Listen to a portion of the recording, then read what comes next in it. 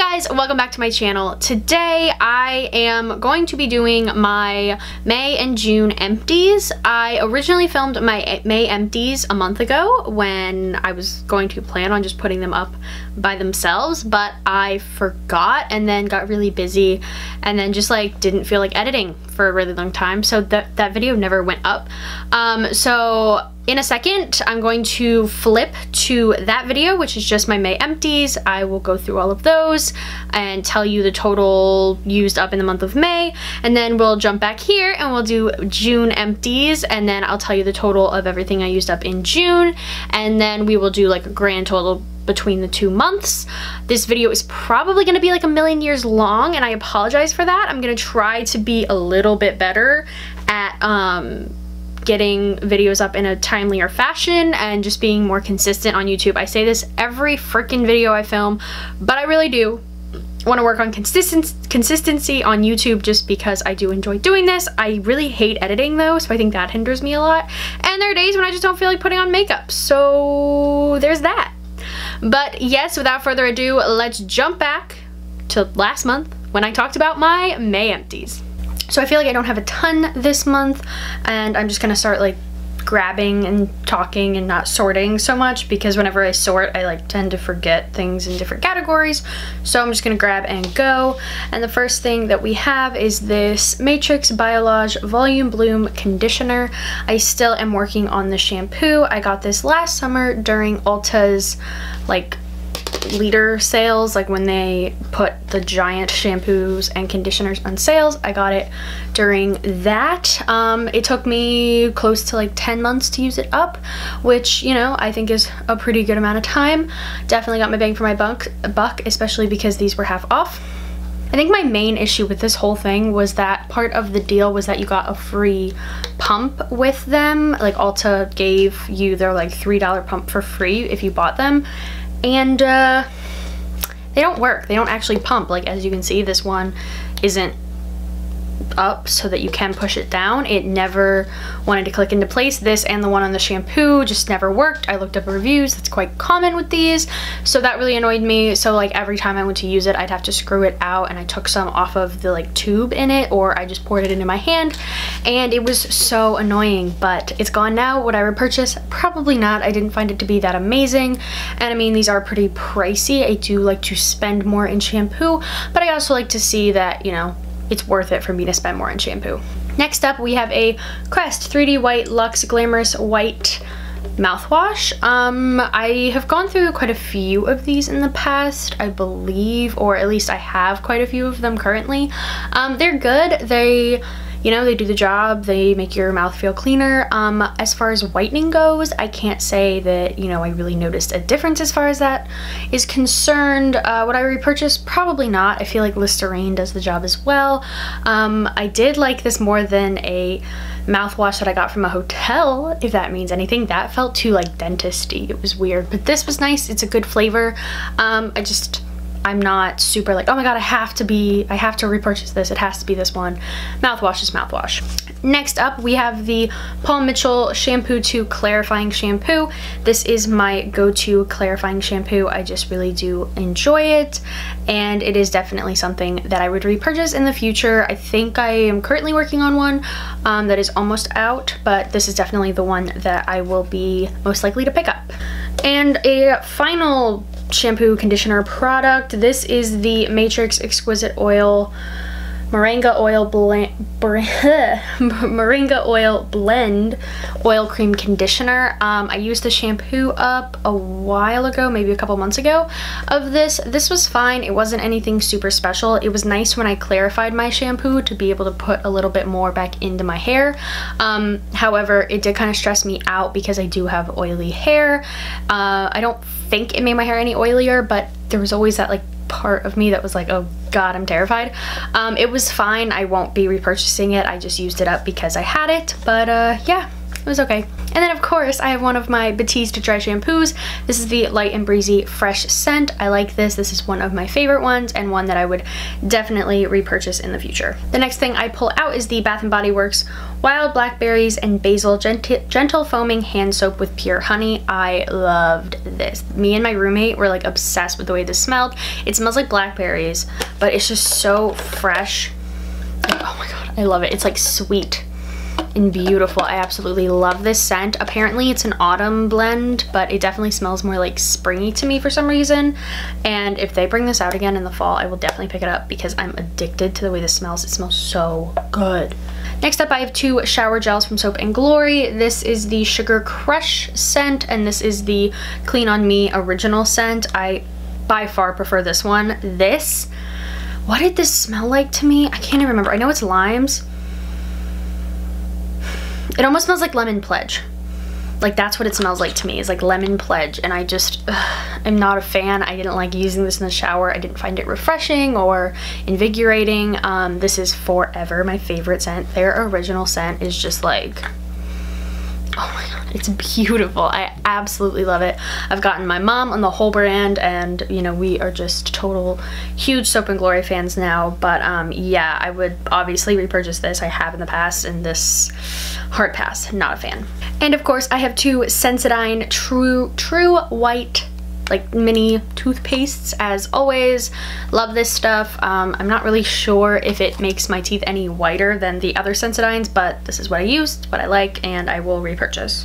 Next up, we have a little perfume sample. This is the YSL Mon Paris scent. I actually have this in full size. I bought it recently, but I pulled it out of my little perfume sample thing um, just to grab one and I ended up pulling this one out and I just used it up really quickly. I love this. Obviously, I have it in full size, but this was a nice little reminder of why I love it. Next up, we have some skincare. Uh, the first being the IT Cosmetics Confidence in a Cleanser for all skin types, Skin Transforming Hydrating Cleansing Serum, Anti-Aging Armor. Wow, it's a mouthful. Um, this was fine. It was just like a normal cream cleanser. Not my favorite. I didn't think it did much of anything. And it's definitely not something I would purchase. Next up, we have the Drunk Elephant B Hydra Intensive Hydration Gel. Um, this came in a little set with their C Firma serum. Um, this was just okay. I didn't think it did much to actually moisturize my skin, which I found kind of strange, um, just because it definitely sounds like something that would be you know, right at my alley considering I have combo oily skin and I do deal with, you know, too much moisture, not too much moisture, too much oil in my skin. So I was thinking this would be nice. Definitely not enough to hydrate the face in my opinion. I don't really know what it was about it, but I definitely had to use a moisturizer with this, which kind of surprised me, especially because the C Firma gave me dry patches. So this did not impress me. There are very few Drunk Elephant products other than their night serum, their what's it, the TLC Framboos night serum that impressed me at all, and this just didn't do it for me. Next up, we have the Ole Henriksen Transform Sheer Transformation Perfecting Moisturizer. I had a sample of this, I think back in December, and I really, really liked it. Um, this time, I found that it didn't sink into my skin quite as well as it the last sample I had did. I still liked it, and I still would consider purchasing it, but I think I want to get another sample just to see, you know, if it's just better for my skin in the winter or what it is, um, because it didn't quite impressed me as much as my first sample did. And last up for skincare, I have the Farsali Unicorn Essence Skin Enhancing Antioxidant Serum. Obviously, everybody uses this as a primer on YouTube. I'm sure you've seen it. It's the pinky serum that, you know, comes in a little droplet. I love the way this smells.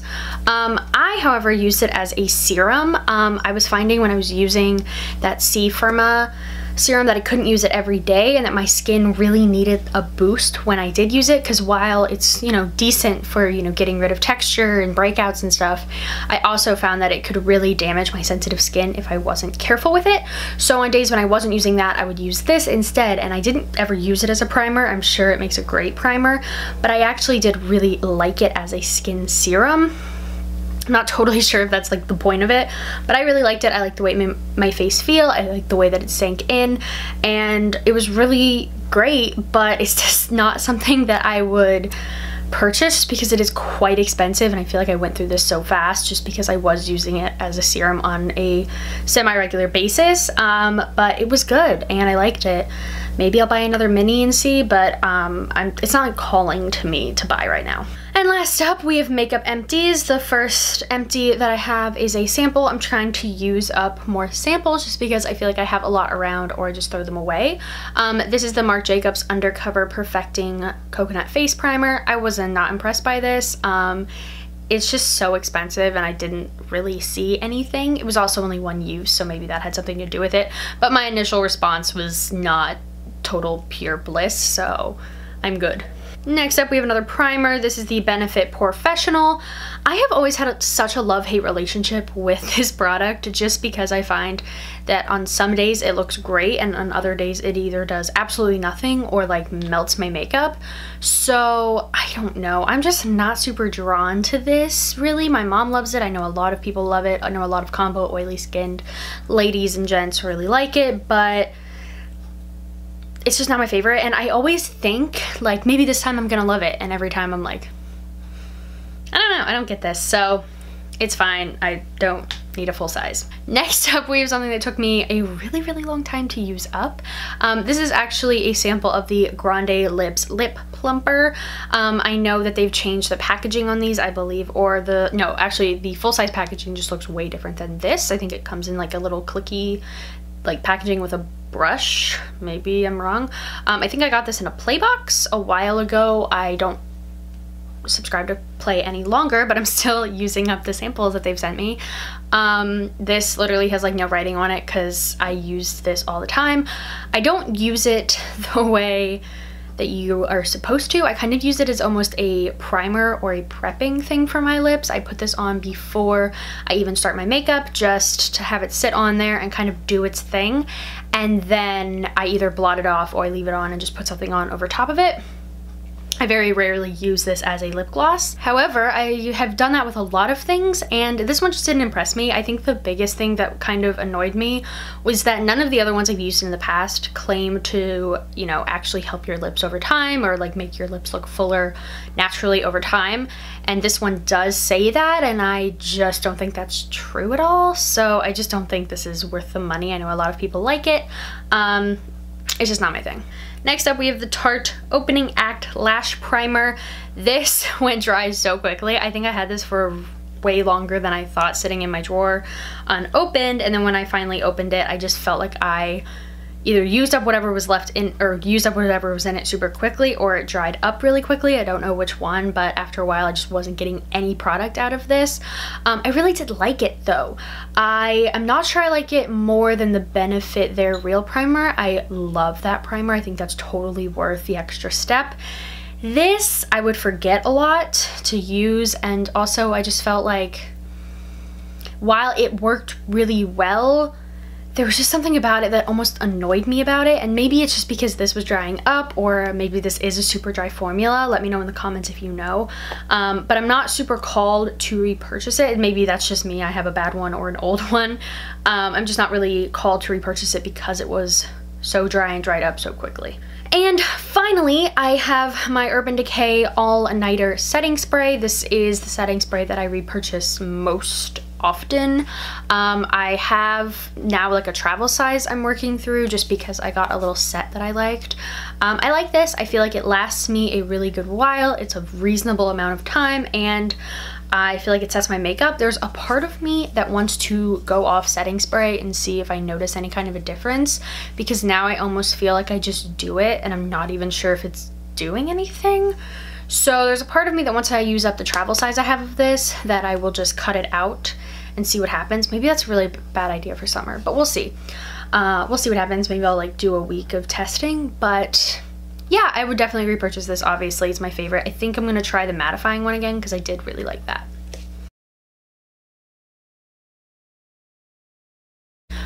We have a sister product to one of the products I used up in May, and this is the Matrix Biolage Volume Bloom Shampoo. This is for fine hair, and it's just to add volume.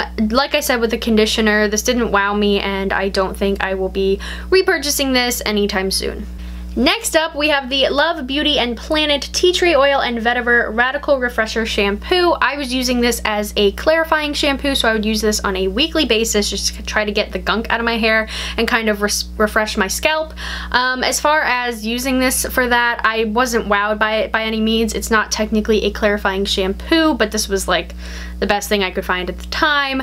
And um, I don't think I would repurchase this. More hair care. This is the Shea Moisture Raw Shea Butter Deep Treatment Mask with sea kelp and argan oil for dry damaged hair.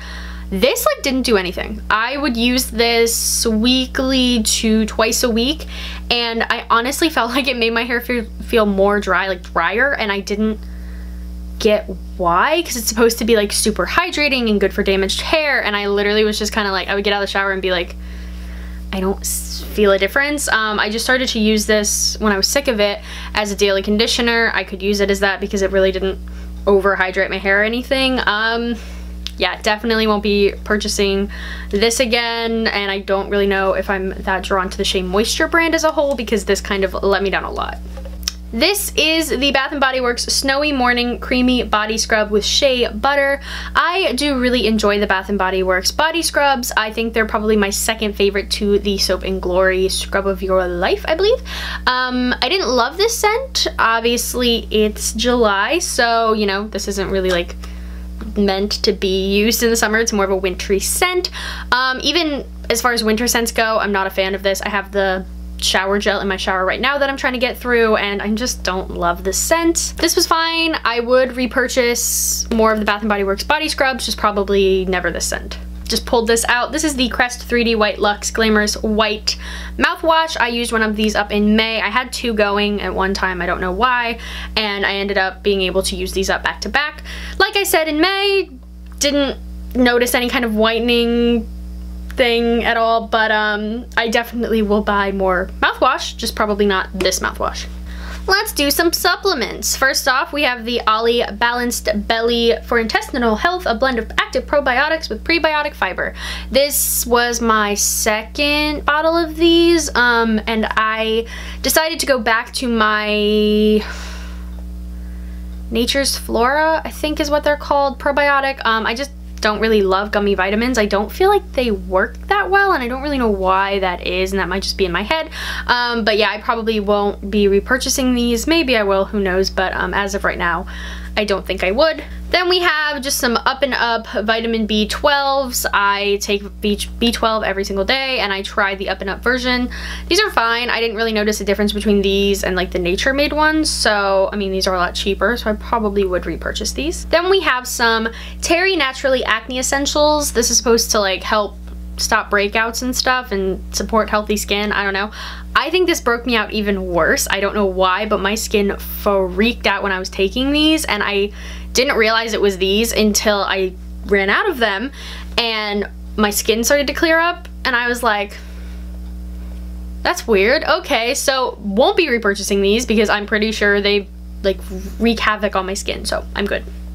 We have some NYX Micellar Water stripped off what it's called. Um, I really liked this at first, but as I was running out of it, I found that I liked it less and less and that I felt like it didn't work as well as it did at the beginning. That may be in my head, but um, I do like this more than the Caudalie one, Caudalie one that I was using a couple months ago. Um, I'm currently using a Neutrogena one and I definitely like this one more, so I would consider repurchasing this, giving it another shot, because so far this is probably my favorite. Oh, I found another supplement. This is Up and Up Vitamin D3. I take vitamin D every day, and yet again, don't see much of a difference between these and the Nature Made ones, so yeah, I would repurchase these. Deodorant, because you need deodorant. This was good. I probably wouldn't buy the lavender again, but this was good. Something that I used up, this took me a year to use up, and there's like stuff all over it. Ew, what is sticky in this bag? Okay, there's like stuff melted all over this. This is the Sunday Riley Martian Mattifying Melting Water Gel Toner. I used this for a full year. It took me a full year to use up. I used it pretty regularly and um, I liked it but I'm not sure I would spend the $55 to repurchase it. I feel like it didn't do as much as I was hoping it would for $55 At the same time though, I've been using some toners since and I definitely prefer this one. Maybe I'm just not a toner girl, I don't know. I've never really understood the purpose of toner, really. Um, as of right now, I won't be repurchasing this. We'll see what happens if I start to miss it or anything like that, but really right now I haven't missed it. Um, it's pretty pricey and I just didn't notice the result I would want out of a $55 product. So, more pricey skincare. This is a little mini size of the Drunk Elephant Beste Jelly Cleanser. It's Cantaloupe. Um, I've heard good things about this, but I am not a fan. I just didn't think this did very much for my skin. Um, I know it's a little bit more hydrating, so if you have dry skin, that may be something to consider for this, with this. Um, I have combo oily skin, so I do like something that's gonna kind of either combat my oiliness or help with breakouts and this isn't supposed to do either of those so it would make sense that it didn't do that um, but I've also found that I've been enjoying cleansers that aren't really supposed to help with breakouts too. So I was hoping I would enjoy this. I didn't really like it. I don't love the packaging on it either. That's what's leaking. Cool. Um, I don't love the packaging on this either. It's not an actual lid. You twist it and then squeeze it. And obviously it gets a little messy sometimes. Yeah, I'm definitely not going to buy a full size of this or seek out another deluxe size sample of this because I just didn't love it. More Drunk Elephant. This is the C Firma Day Serum. I've heard great things about this.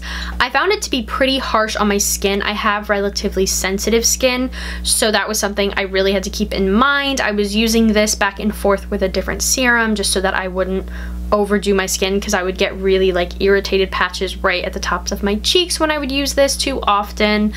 Um, but now at first, with the first my first initial reaction after using this up was I didn't love that. I didn't think it was worth it. You know, I don't really need to repurchase it.